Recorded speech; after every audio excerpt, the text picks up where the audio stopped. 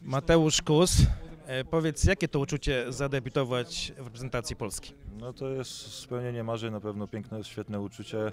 Serce mocniej bije, ale gdy wychodzi się na parkiet, no to już trzeba się skupić i grać na 100%. Ty pewnie słyszałeś o wspaniałej publiczności e, w Ergo Arenie, ale to chyba nie to samo, co wyjść tutaj i walczyć dla Polski. No tak, no wiadomo, że nasi kibice są najlepsi, e, więc e, chylę, chylę czoła przed nimi naprawdę, bo świetnie nas dopingowali. Z taką publicznością można wygrywać z każdym.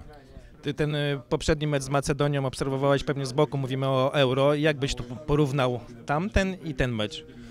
Mm, Ciężko to porównywać. No, tamto to były mistrzostwa u nas w kraju, tutaj to jest e, eliminacje do olimpiady, czyli też bardzo ważne, ale nie wiem, nie mogę oceniać Macedończyków ani nas. My, my, od tego jest trener. My, dla nas najważniejsze, że wygraliśmy.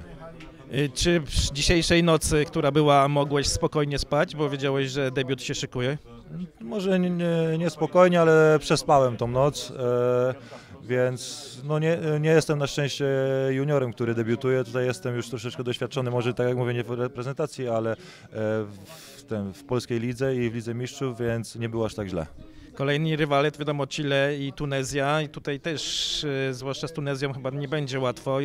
Chcecie po prostu z kompletem zwycięstw zakończyć ten turniej. Tutaj nie będzie żadnych e, łatwych meczy, to są eliminacje do olimpiady. Tutaj każdy chce spełnić swoje marzenie, jechać na olimpiadę. Naszym celem jest wygrać e, trzy mecze i awansować. Dziękuję bardzo.